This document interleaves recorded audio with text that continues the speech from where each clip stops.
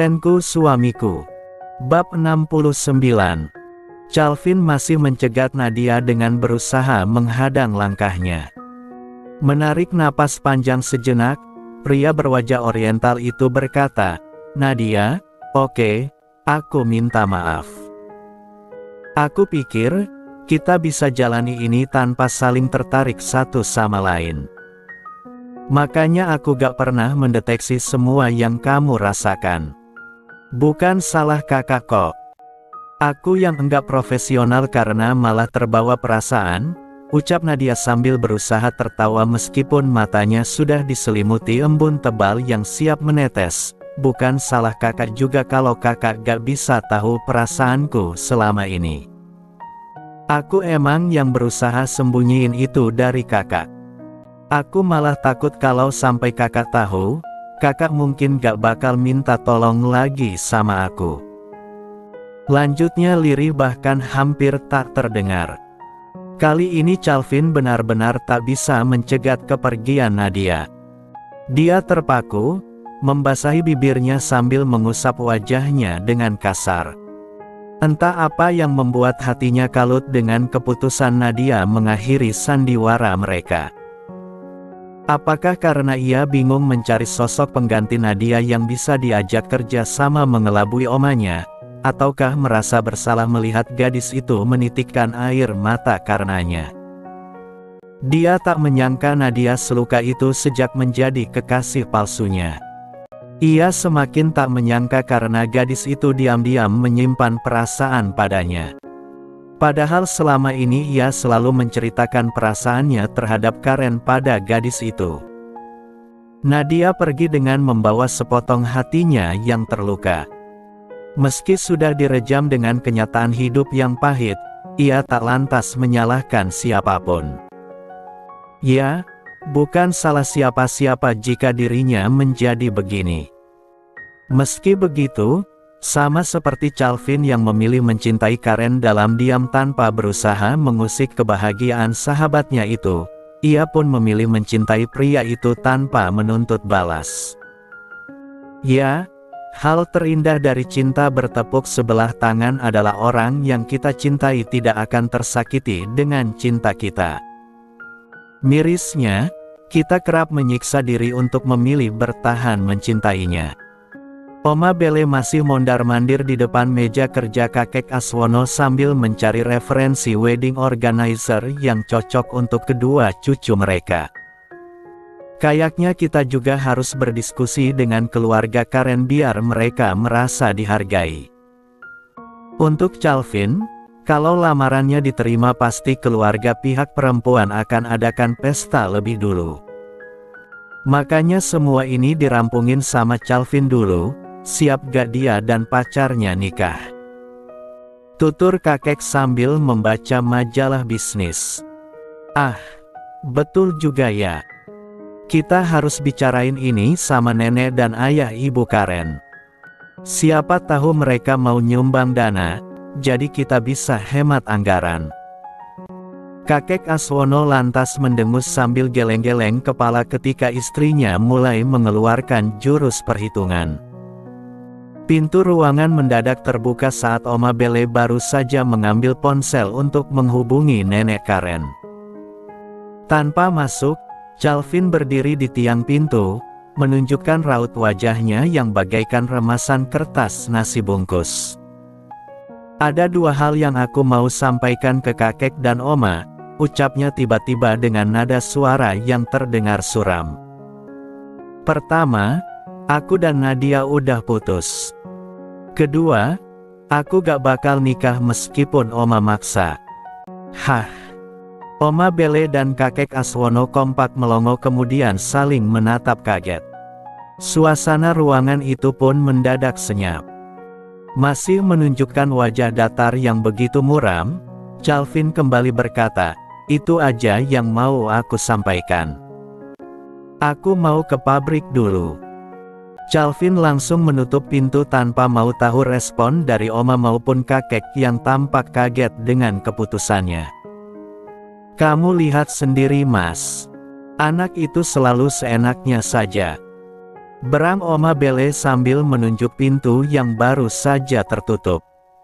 Kayaknya Calvin lagi patah hati berat, pikir kakek seraya menghela napas, kita biarkan saja dulu dia tenang.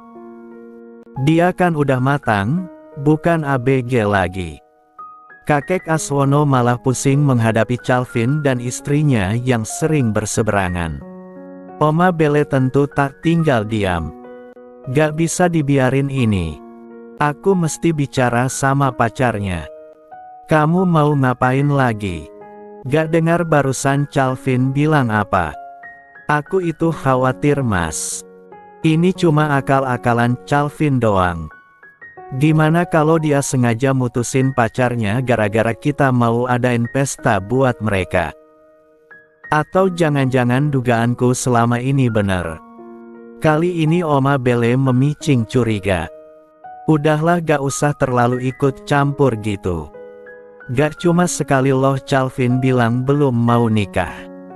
Laki-laki belum siap berkomitmen dipaksa nikah, apa gak kasihan yang jadi pasangannya nanti.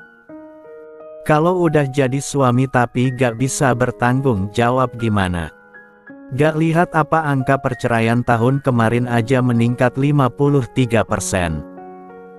Anak muda zaman sekarang banyak yang termakan dongeng, mikir kalau pernikahan itu adalah akhir dari segalanya.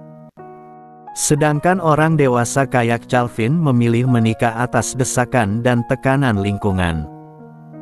Akhirnya, begitu menjalani pernikahan yang sesungguhnya, pada syok karena tidak sesuai novel percintaan. Lagian, awalnya kan, saya cuma mau adain pesta buat Daren sama Karen. Kamu yang ngotot minta digabung sama pestanya Calvin, cerocos kakek Aswono sambil melepas belangkon. Calvin berjalan lemah seperti tak memiliki tenaga. Kata-kata yang terlontar dari mulut Nadia masih berkelabat di kepalanya. Seseorang datang mendekat, lalu berkata padanya, Pak, Tadi ada cewek muda yang nyari bapak. Katanya dah janjian, dia sampai nyasar ke departemen humas karena nyari ruangan bapak. Oh, sahutnya pendek karena sedari tadi ia sudah kehilangan kata-kata. Berbeda dengan Calvin dan Nadia yang berakhir sebelum berlayar, Darren dan Karen malah semakin harmonis dalam membangun bonding di antara mereka. Keduanya tengah mandi bersama. Nadia sampai sekarang kok belum balas chat aku ya. Aku nelepon pun gak tersambung. Aku jadi khawatir sama dia. Mungkin lagi sibuk jadi belum sempat balas chat kamu, balas Daren sambil memijat pundak Karen. Tapi gak biasanya Nadia kayak gini. Apalagi tadi siang dia benar-benar beda banget. Karen teringat kembali perkataan Nadia yang cukup mengusik pikirannya. Yang mana kala itu Nadia sempat berkata kalau Karen sangat beruntung karena meskipun telah bersuami, ia masih bisa mendapatkan perhatian dari pria lain. Sungguh, ia tidak mengerti kenapa Nadia sampai berkata demikian. Dia mulai berpikir kalau Nadia mungkin cemburu karena dirinya terlalu dekat dengan Calvin. Ada masa di mana seseorang yang kita kenal baik mendadak bersikap berbeda dari biasanya. Kita menilai dia berubah, padahal mungkin itu emang karakter asli dia atau bisa jadi sikapnya itu adalah buah dari emosional yang dia pendam saat ini. Apa pun itu, mungkin teman kamu lagi mau menenangkan diri. Stay positif aja dulu. Ucap Darren menanggapi keresahan istrinya. Iya sih. Karen mencebikkan bibir. Ham, gak terasa bentar lagi masuk kampus. Ih, jadi gak sabar. Kangen juga sama teman-teman kampus. Karen mendadak terdengar bersemangat. Kangen teman-teman kampus atau kangen sama cowok yang ngejar-ngejar kamu itu. Nada sewot berbau cemburu tiba-tiba keluar dari mulut Daren. Karen mengernyit sejenak. Siapa sih maksudnya? Matanya sontak membesar begitu teringat Feril dengan tingkahnya yang suka mengusik. Cie, Cemburu nih ye. Anda merasa tersingi mahasiswa Anda sendiri ya? Celah Karen dengan gaya formal tapi mengejek. Darren mengatur ekspresi wajahnya agar terlihat biasa saja. Siapa cemburu? Aku cuma kasihan aja, kamu didekati cowok kayak gitu. Idi masih Daniel juga kalau cemburu. Karen mengulas senyum hangat sambil kembali berkata, Actually, yang paling kurindukan dari kampus itu saat kamu ngajarin aku di perpustakaan secara sembunyi-sembunyi. Serius, Aku kangen banget momen itu. Kamu masih mau ngajarin aku lagi kan? Darren turut tersenyum mengingat masa-masa cinta mereka tumbuh dan bermekaran. Lihat ke sini. Pinta Darren sambil melingkarkan tangannya di pinggang istrinya. Kenapa? Tanya Karen sambil menolehkan kepala ke belakang. Bertepatan dengan itu, ciuman hangat nan singkat mendarat di bibirnya. Terlalu cepat, ih. Ada siaran ulang gak? Pinta Karen dengan gayanya yang manja. Darren mendekatkan wajahnya secara perlahan. Karen mulai memejamkan mata dan sedikit mengangkat dagunya, seolah siap menyambut ciuman suaminya. Tepat saat matanya menutup sempurna, Darren malah menempelkan busa ke dagu perempuan itu sehingga membuatnya tampak memiliki brewok. Tindakan iseng suaminya membuat Karen kesal sekaligus gemas. Seperti itulah pasangan beda usia itu merajut kasmaran mereka. Selepas mandi bersama, Karen dan Darren turun ke lantai bawah. Seperti biasa, keluarga Bratajaya menerapkan aturan disiplin dan terjadwal untuk segala aktivitas yang ada di rumah, termasuk jadwal makan malam yang tak pernah bergeser. Semua keluarga telah berkumpul di meja makan, kecuali Calvin yang memang belum pulang. Kakek, Oma, aku dan Karen udah diskusi soal rencana pesta pernikahan kami yang mau diadain sama kakek dan Oma. Ucap Darren membuka obrolan, kami juga punya wedding dream impian yang sesuai dengan keinginan kami sendiri. Untuk itu, kami sepakat ingin mengadakan pesta pernikahan dengan uang kami sendiri, tanpa bantuan kakek dan oma. Tapi, untuk mewujudkan itu semua, tentu gak bisa secepatnya. Aku harap kakek, oma, serta lainnya sabar menunggu undangan dari kami. Kalian ini sok-sok mandiri. Ketus oma dengan wajah cemberut. Bagaimana tidak cemberut, Keinginannya untuk mengadakan pesta mewah besar-besaran gagal total karena penolakan cucu-cucunya. Selain itu, kami juga mau ngasih tahu, hari Minggu aku dan Karen mau balik ke rumah kami soalnya Karen udah mau masuk kampus. Apa? Kalian berdua mau minggat dari rumah ini? Wajah kaget Oma Bele disertai suara dengan nada tinggi melengking sudah tak bisa dibendung. Iya Oma. Aku rasa udah waktunya buat balik. Karen butuh konsentrasi untuk mengerjakan tugas kuliahnya nanti, balas Darren dengan tenang. Emangnya kalau di sini gak bisa konsentrasi apa?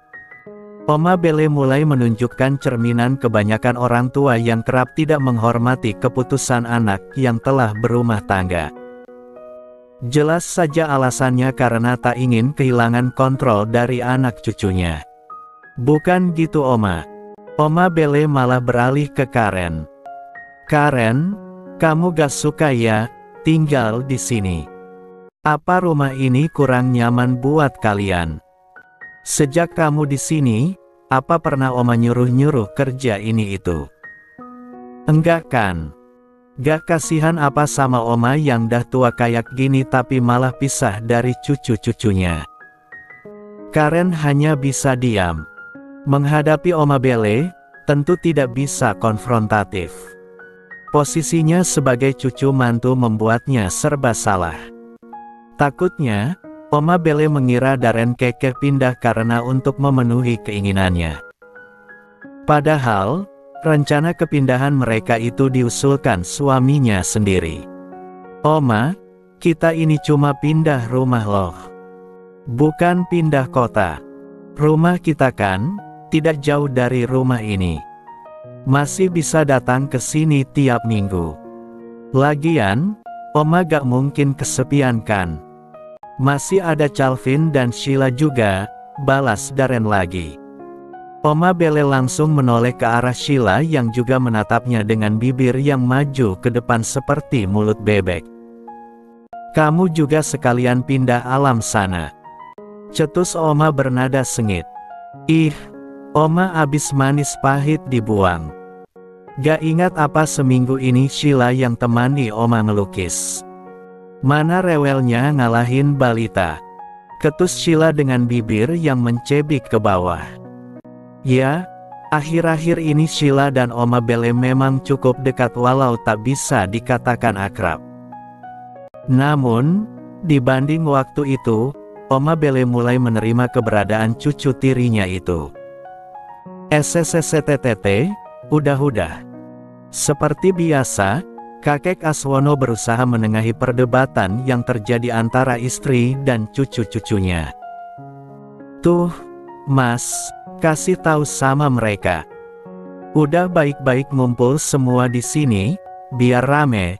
Eh mereka mau sok-sokan mandiri, Oma Bele mulai meminta pembelaan dari kakek. Darren, Karen, memang sudah seharusnya kalian balik ke rumah sendiri, kata kakek Aswono. Mata Oma Bele terbelalak seketika. Alih-alih mendapat pembelaan dari suaminya, kakek Aswono malah mendukung keputusan Daren dan Karen. Loh, kamu ini gimana sih mas? Daren itu bukan seperti Calvin. Dia udah nikah. Butuh privasi. Biarkan mereka hidup mandiri tanpa intervensi dari kita, bela kakek Aswono. Gak kamu, gak anak kamu, gak cucu kamu, semua ngeselin.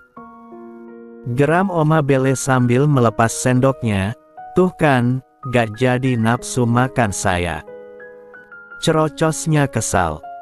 Gak nafsu makan tapi makanan yang ada di piring udah habis lebih dulu, gumam Sheila dengan suara nyaris berbisik. Biasanya Oma nambah dua kali. Sambar Oma Bele yang ternyata mendengar gumaman Sheila. Kamu ini dek, dari tadi marah-marah mulu. Kita semua lagi makan loh. Tegur kakek sambil bergeleng-geleng kepala. Gimana gak kesel, mereka mau ninggalin kita. Belum lagi tadi siang aja Calvin ngasih tahu udah putus sama pacarnya. Mana kabar dia mau nikah udah santer di perusahaan. Teman-teman aku yang sebelumnya mau ngenalin anak mereka ke Calvin juga dah pada tahu. Mau taruh di mana muka aku mas? Ya, taruh di situ aja. Emang bisa simpan di laci? Cetus kakek santai, makanya jangan ambil keputusan sepihak tanpa persetujuan dari anak. Karen terperanjat mendengar kabar putusnya Calvin dan Nadia. Meski dia tahu hubungan itu hanya pura-pura semata, tetapi dia juga tak menutup mata kalau sahabatnya itu benar-benar menyukai Calvin. Jangan-jangan, tadi siang itu, Nadia. Karen malah menyangka sikap Nadia yang tampak berbeda tadi akibat Calvin yang hendak mengakhiri status palsu mereka secara sepihak.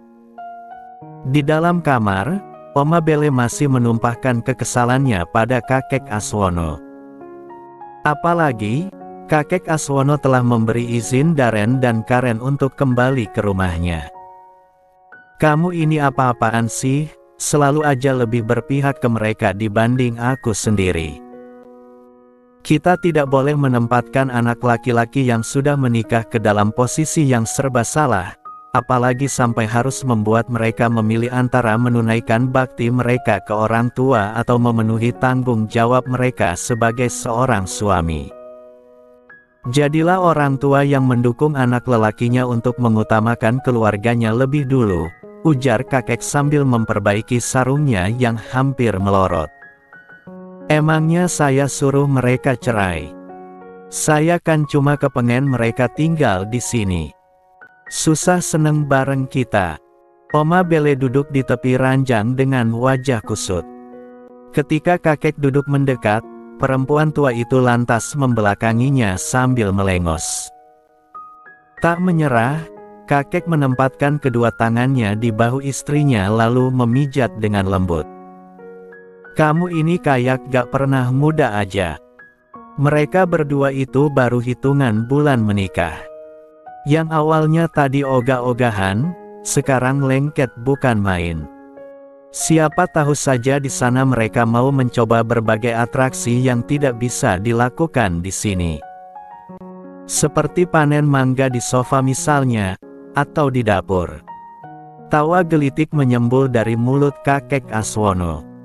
Oma Bele yang masih membelakangi kakek Aswono, turut tergelitik. Kayak kita masih muda dulu ya mas. Nah kan, kamu sendiri tahu gimana gejolak pasangan muda yang baru nikah. Sekeras apa pun sifat dan karakter Oma Bele, pasti akan melunak dan luluh jika bersama kakek Aswono. Ya, hanya kakek yang bisa menaklukkan kerasnya hati Oma Bele. Sebaliknya, Karen malah menjadi gusar dan bimbang dengan keputusan mereka yang hendak hengkang dari rumah ini. Melihat respon Oma Bele tadi, membuatnya berpikir dua kali untuk balik ke rumah lama mereka. Kamu kenapa? Tanya Daren yang melihat istrinya tepekur di sisi ranjang. Ren, kita jangan dulu balik, gak sih? Aku gak enakan sama Oma. Darren tersenyum simpul kemudian berjongkok tepat di depan Karen. Sambil menggenggam tangan istrinya, dia berkata, kadang-kadang kita gak perlu terlalu gak enakan sama orang lain, kita gak perlu terlalu mikirin perasaan orang lain, kita gak perlu terlalu sering memaklumi sekitar. Kenapa? Biar diri kita gak selalu tertekan. Iya, tapi kamu gak akan ngerti kalau gak berada di posisi aku. Gimana kalau oma ngangka aku yang hasut kamu buat keluar dari rumah ini? Darren menipiskan bibir sambil meminggirkan beberapa helai rambut Karen ke belakang telinganya. Aku yakin oma cuma kaget dengar keputusan kita. Biarin aja dulu sampai dia tenang. Entar kita ngomong lagi baik-baik sama oma. Aduh, kok hari ini runyam banget. Mana Calvin mutusin Nadia? Pokoknya aku bakal bicara sama Calvin. Enak aja dia giniin Nadia.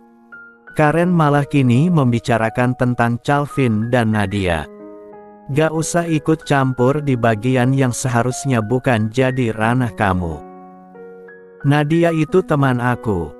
Aku gak terima diginiin sama Calvin. Jangan mentang-mentang Calvin sepupu kamu, terus kamu bela dia. Itu namanya gak fair.